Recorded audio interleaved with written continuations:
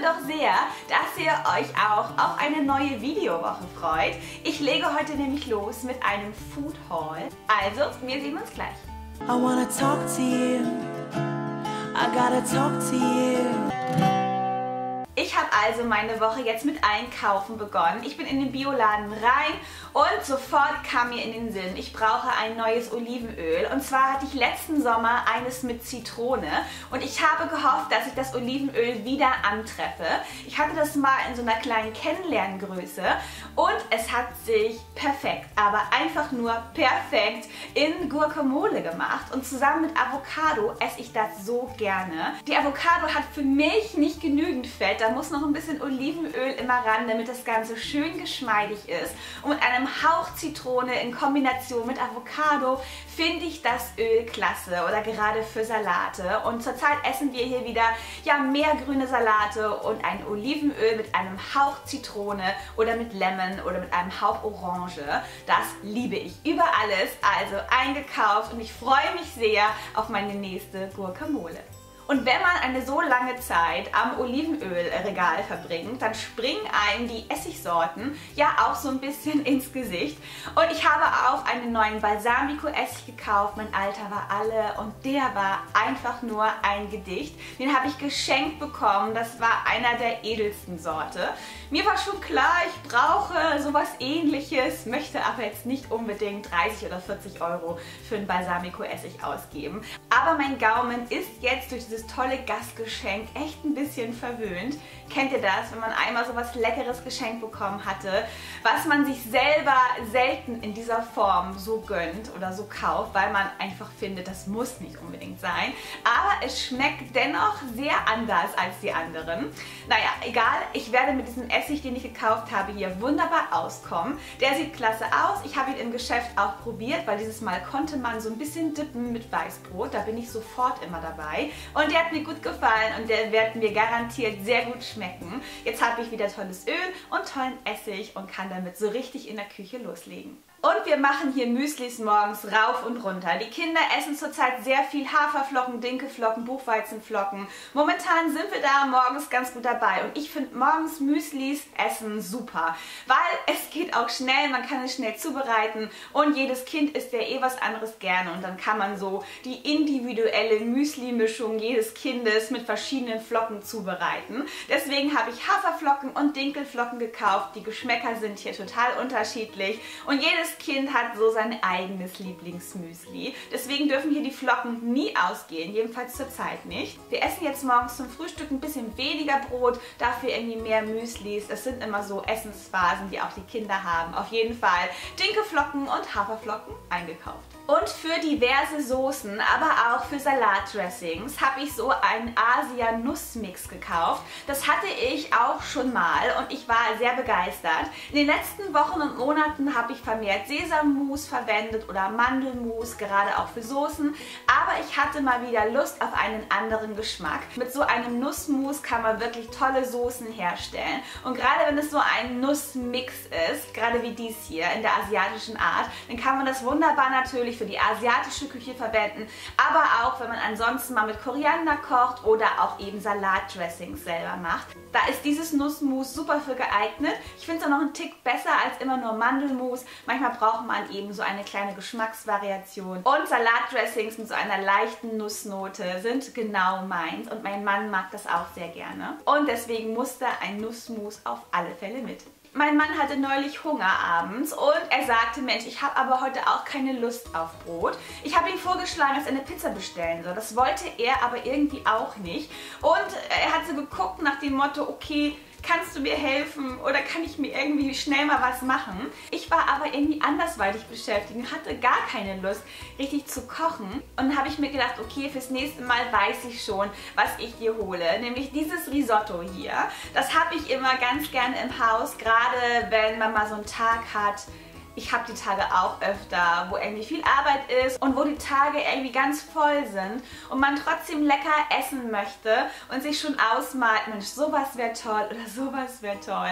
Und Risotto finden wir richtig cool, mögen wir alle hier gerne und kochen wir hier auch oft, aber braucht eben auch ein bisschen Zeit und braucht eben auch ein bisschen Aufmerksamkeit. Also einer muss zum Kochtopf gehen oder zum Thermomix und muss das zumindest mal alles zusammenschmeißen. Und dieses Risotto, das hatte ich auch schon öfter da in verschiedenen Sorten. Und das habe ich meinem Mann jetzt eingekauft, weil hinten drauf ist eine genaue Packungsanleitung, das geht ganz einfach, das kann man sich dann eben mal so in den Kochtopf schmeißen, ohne groß darüber nachzudenken, also ohne Rezept zu lesen oder ohne irgendwie da so ein Küchenbromborium zu machen. Er fand es total gut, weil er mag gerne Risotto.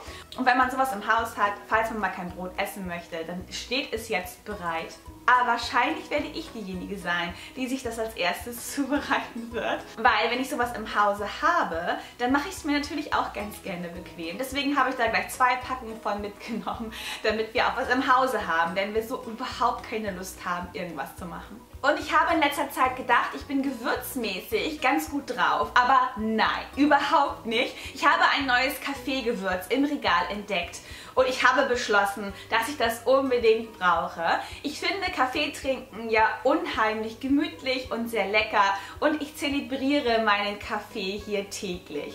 Das heißt nicht, dass ich übermäßig viel Kaffee trinke, aber wenn ich Kaffee trinke, dann muss das richtig gut sein und dann muss das auch wirklich sitzen, jedenfalls geschmacklich. Und da ich auch gerne ein paar verschiedene Nuancen reinbringe, ich trinke sehr gerne Zimtkaffee, ich trinke aber auch mal gerne einen Eiskaffee, aber ich würze mir meinen Kaffee auch gerne. Manchmal ein bisschen mit Kurkuma, manchmal mit Kardamom, manchmal nur mit Zimt, kommt auch so ein bisschen drauf an, worauf ich morgens Lust habe oder nachmittags. Und gerade mit Gewürzen kann man ja ja in einer Gewürzmischung unheimlich gut spielt. Und ich bin gespannt, wie dieses Kaffeegewürz ist.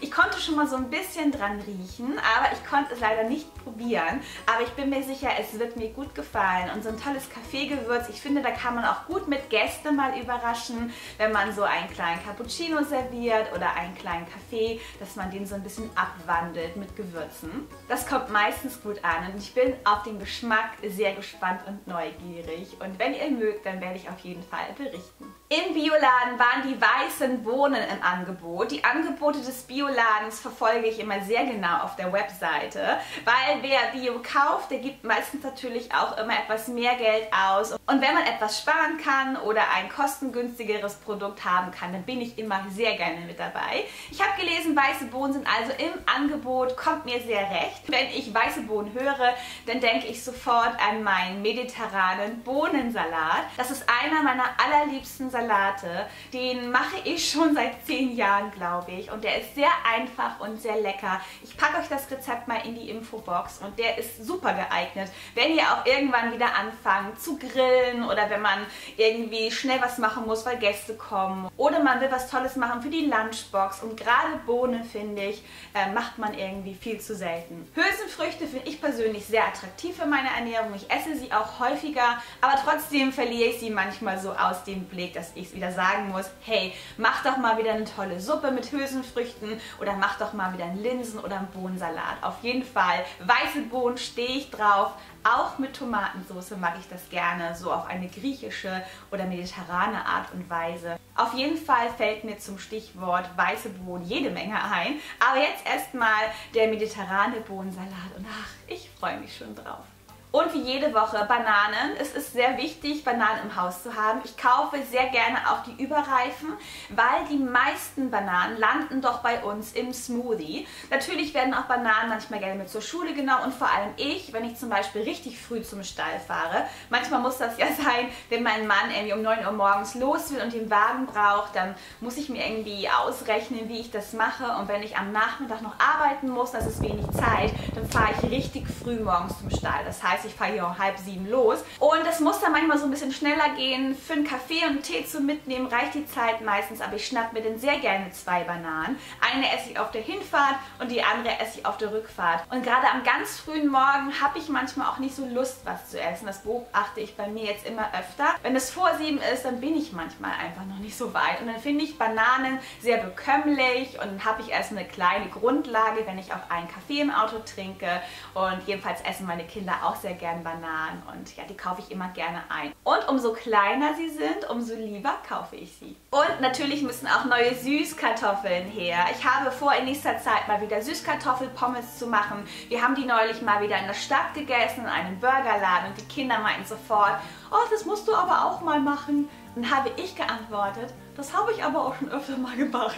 Und dann haben die Kinder mich angeguckt, ja, okay, dann mach das doch mal wieder. Und natürlich, Süßkartoffelpommes sind genial. Gerade mit Kräuterquark oder mit irgendeinem anderen Dip. Meine Kinder essen das am allerliebsten ähm, mit Ketchup, ist ja klar. Auf jeden Fall habe ich viele Süßkartoffeln gekauft, damit wir hier uns alle satt essen können. Und mein Mann hat schon gesagt, er macht auch mit. Also gibt es demnächst Süßkartoffelpommes. Und dazu braucht man natürlich Süßkartoffeln. Und auch ein beliebtes Gericht, was ich sehr gerne mache, wenn ich ganz wenig Zeit finde, ist Milchreis. Den bereite ich dann meistens so zwischendurch irgendwie zu, wenn ich dann Zeit finde. Ich finde, es ist ein sehr dankbares und ein sehr mütterfreundliches Gericht. Die meisten Kinder mögen Milchreis ganz gerne mit Zimt und Zucker oder mit Sirup oder mit Erdbeermarmelade oder mit roter Grütze oder wie mein Sohn einfach nur mit Birne drüber geschnippelt.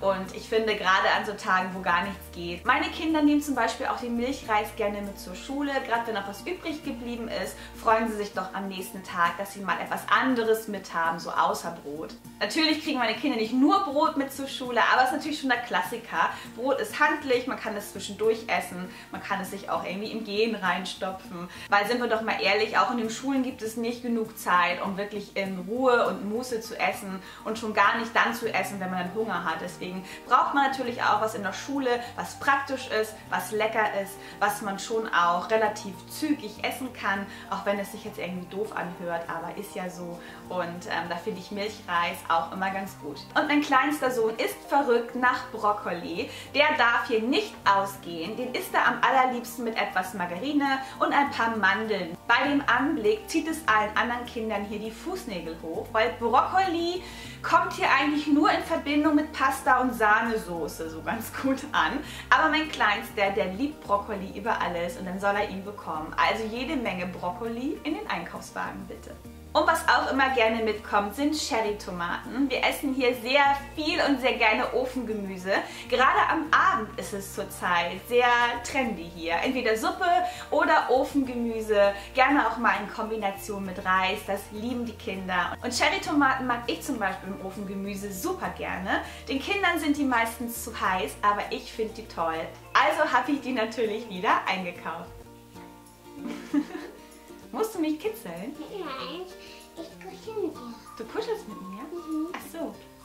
Aber kuscheln kann ja auch mal kitzeln, ne? Du kitzelst jetzt. Okay. Aber ich bin gleich fertig. Okay. ja, so ist das. Du hast gekitzelt? Ja. Ja. Kann ich das Video jetzt noch zu Ende drehen. Ich werde das Video jetzt unter erschwerten Bedingungen zu Ende drehen, weil ich bin schon auch kitzelig. Scheint sich jemand lustig zu finden. okay. okay. Okay.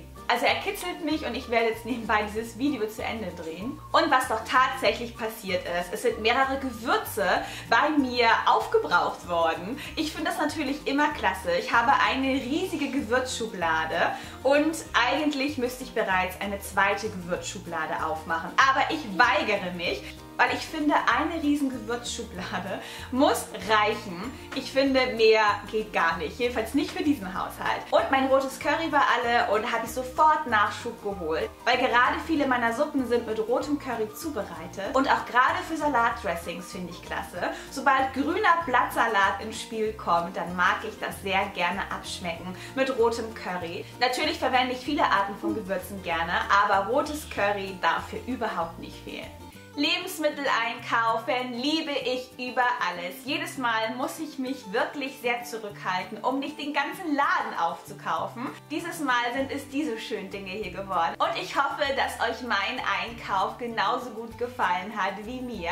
Schreibt mal runter in die Kommentare, was ihr am liebsten einkauft im Bioladen. Seid ihr eher so der Neuigkeitensucher oder guckt ihr gerne am Gewürzregal? Oder sind euch Getränke ganz wichtig, so Säfte oder Soft Softdrinks oder was gibt es da so Neues? Oder stöbert ihr vielleicht gerne vor dem Weinregal oder könnt ihr neue Eissorten nicht liegen lassen? Schreibt es mir mal runter in die Kommentare und den letzten Food Haul, den habe ich euch hier an der Seite verlinkt. Und ja, ich würde sagen, wir sehen uns ja am Mittwoch schon wieder, dauert gar nicht lange. Also startet jetzt gut in die neue Woche und wir sehen uns dann am Mittwoch.